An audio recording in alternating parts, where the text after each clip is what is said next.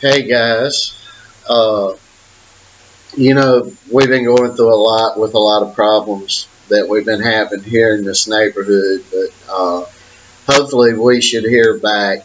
Uh, my wife said it was 24 hours, but she, you know, she she's Lucy Ricardo. If you go look, I love Lucy.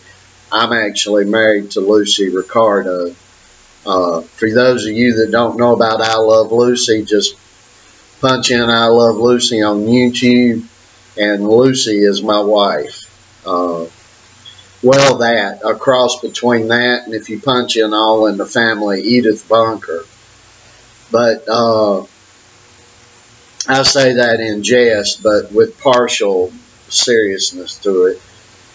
So, probably going to find out something at some point tomorrow, I would suppose. I'm not sure if tomorrow's the 24 hour or the 48 hour to getting up out of here. But uh, anyway, I want to tell you, problems start resolving themselves. And you got to be careful in life because when you're messing with others that are trying to succeed and working terribly hard going up ladder, uh, others come forward and start wanting to help you. And uh,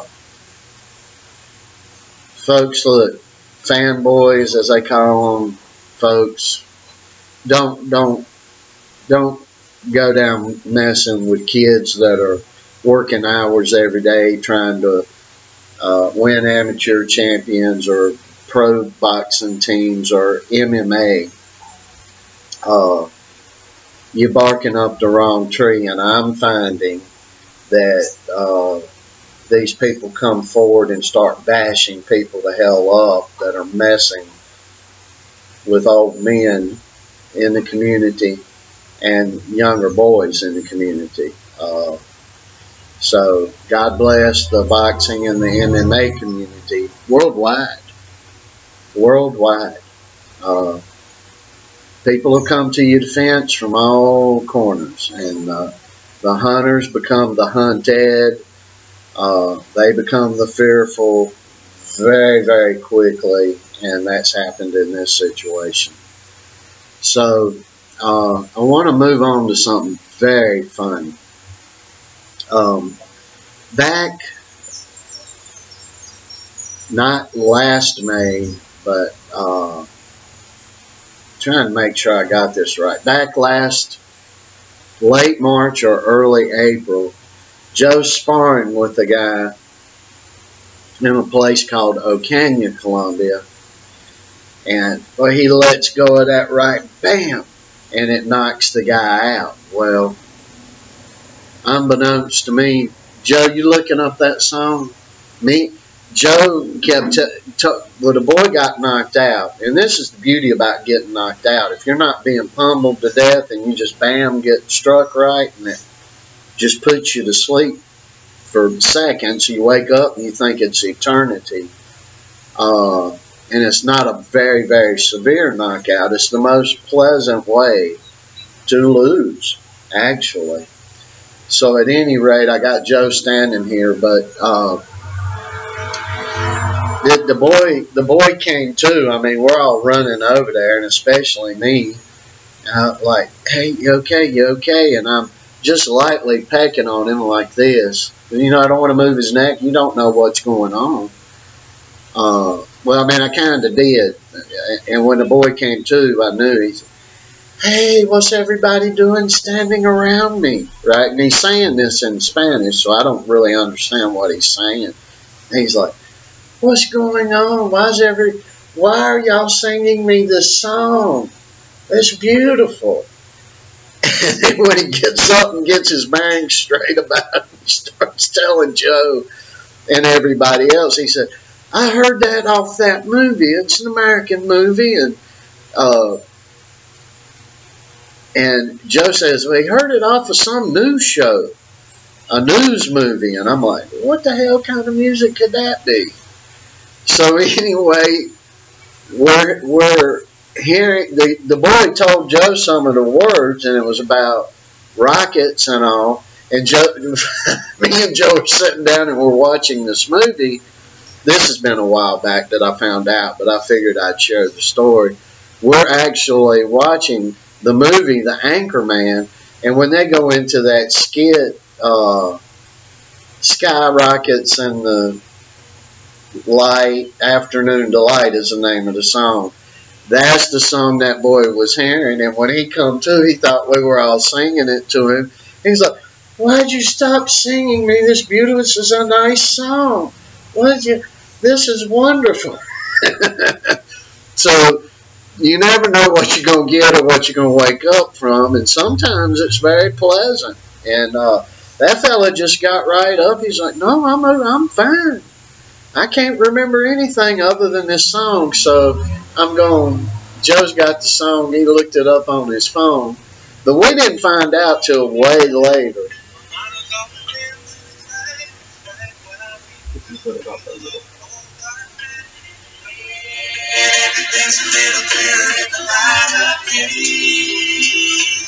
And we know the night is always gonna be here anyway.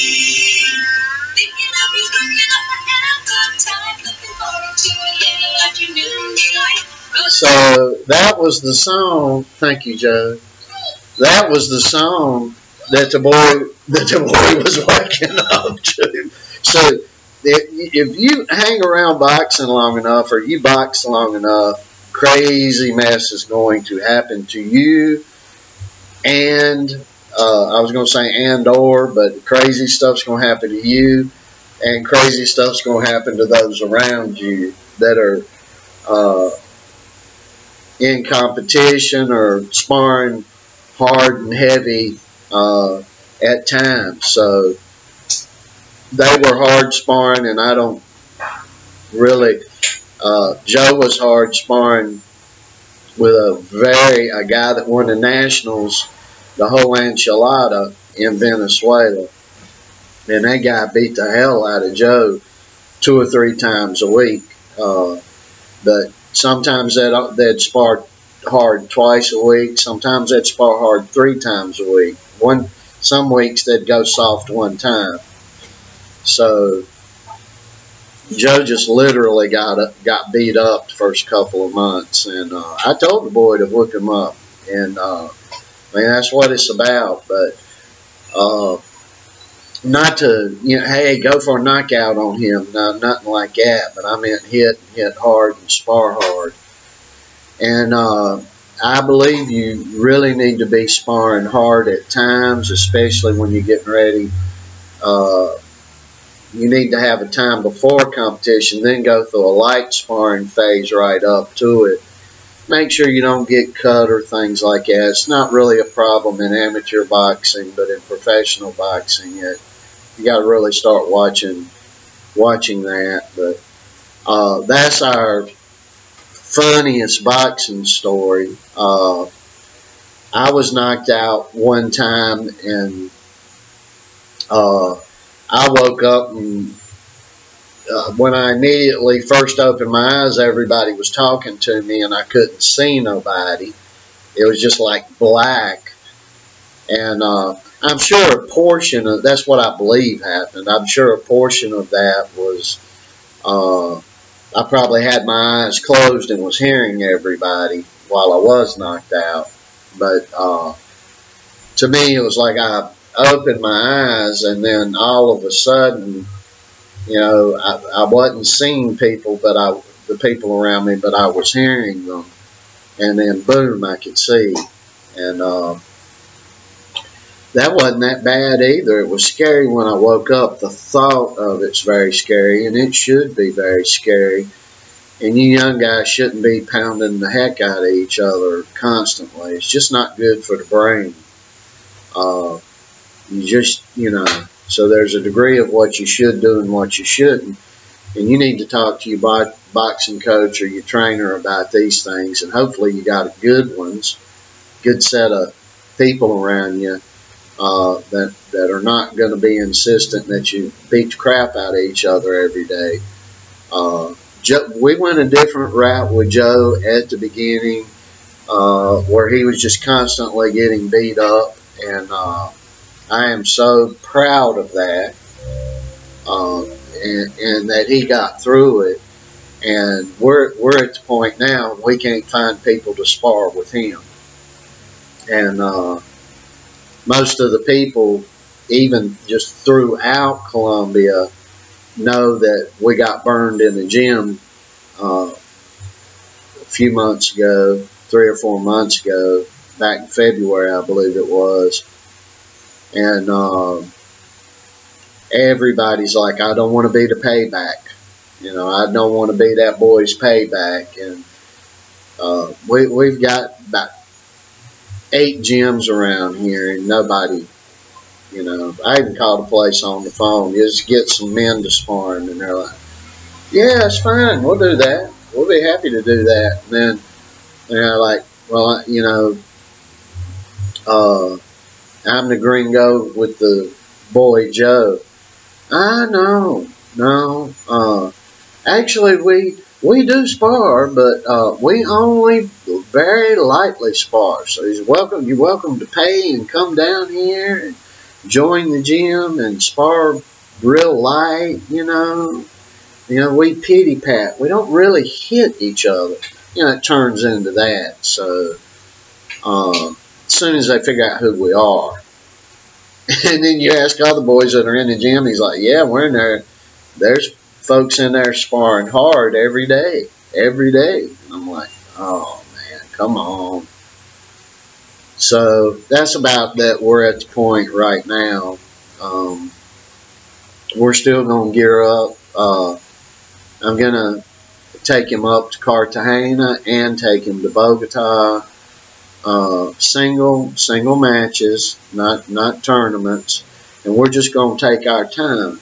Uh, a lot of folks don't get that and don't understand that, but uh, right now we're just taking our sweet time, uh, honing everything we can hone. I believe tonight I may put up a video. Joe does do uh, some weightlifting, but what he does is he works with dumbbells once or twice a week. We go through a series of exercises, just keeping the dumbbells in the hands, just go from one exercise to the other. And uh, we try to fill up three minutes of just keeping those arms or back or shoulders going the whole time. And that, that has been tremendously helpful to Joe. But now, as far as just you know, bench pressing and uh, normal squatting and things like that. We just, I choose for him not to do. Uh, I feel like that'll slow him down and it'll build slower uh, cell muscle than doing what he what he does, and um, uh, so what we try to do with the with the weight work that, that he does, the limited weight work. Uh, of course, he does calisthenics. Uh, he's doing two to 600 push-ups every day. Not at one time now, boys. Uh, and I want to tell you young guys that you, maybe you can't do 20 push-ups. Don't let that deter you. Use your brain.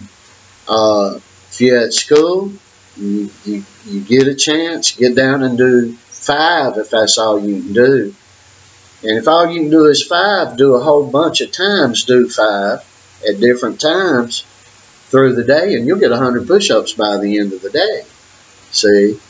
And you'll build up where you can do 50 or 100 push ups at one time, uh, like Joe's built up to. So, uh, nothing that that he started to do, nor me, many, many, many, many years ago, uh, came easy. You know, you jump the rope, you maybe you jump it twice and it, you hang up. It hangs up on your feet, and uh, you just got to keep stabbing at it, little increments at a time, boys. Little in increments at a time.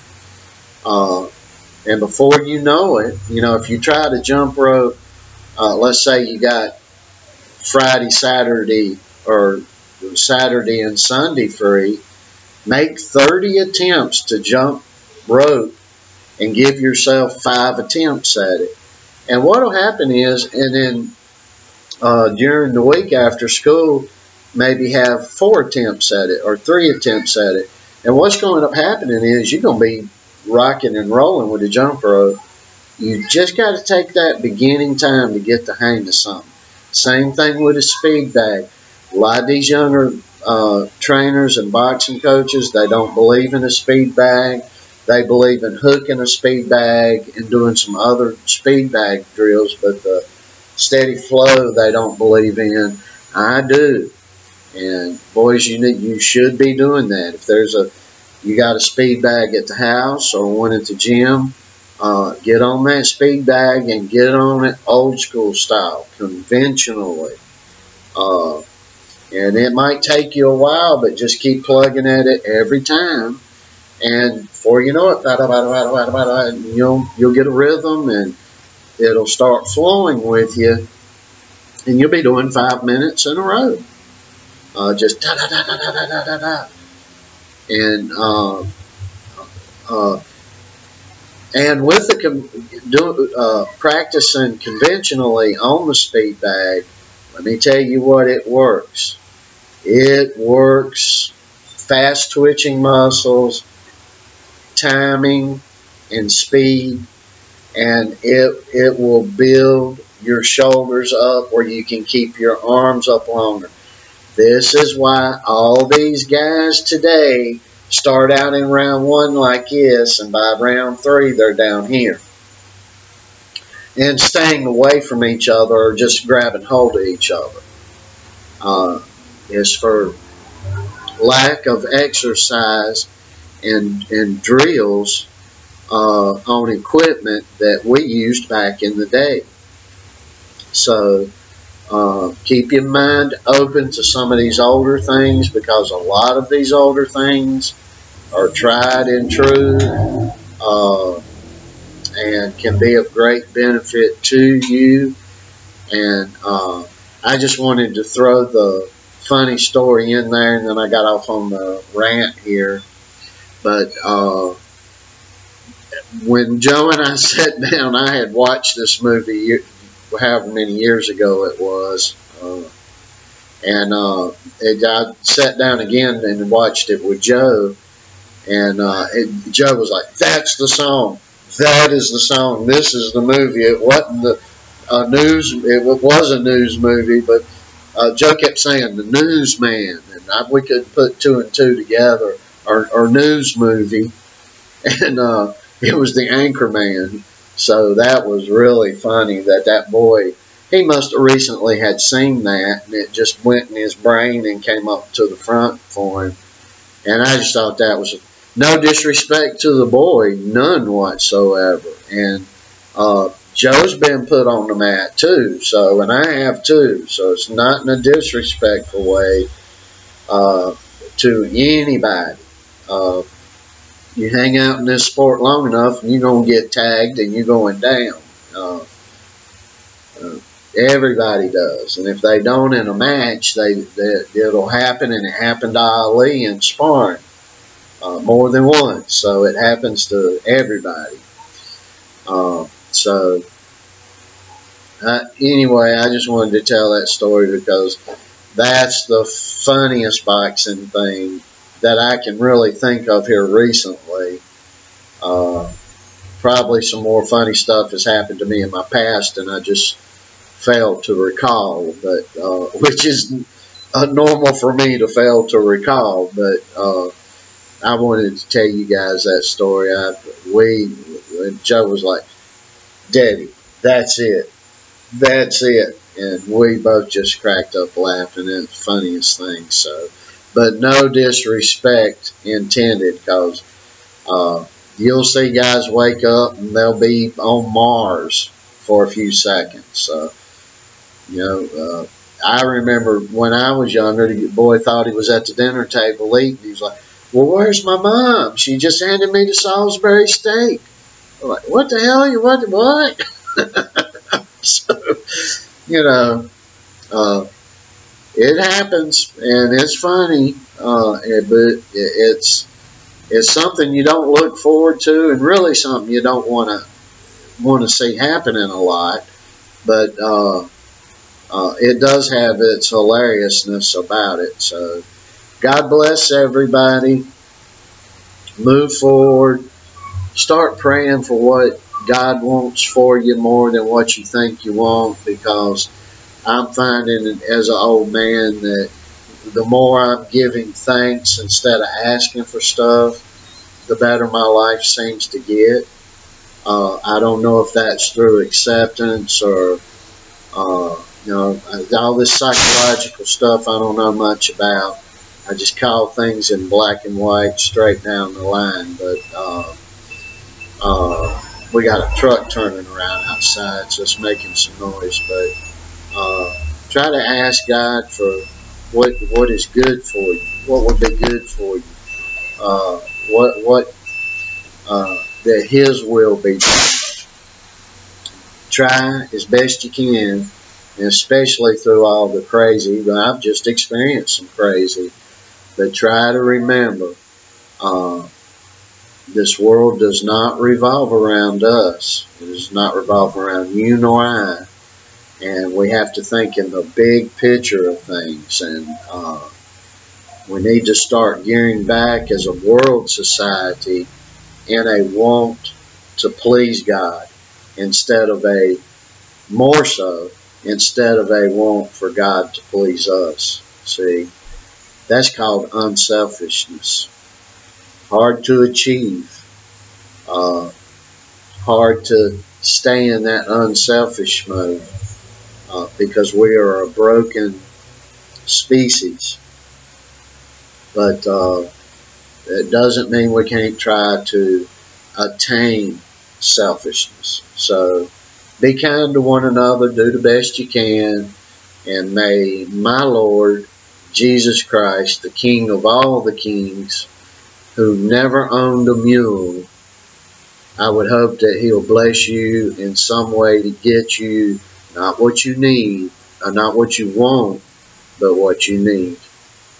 Bye, guys.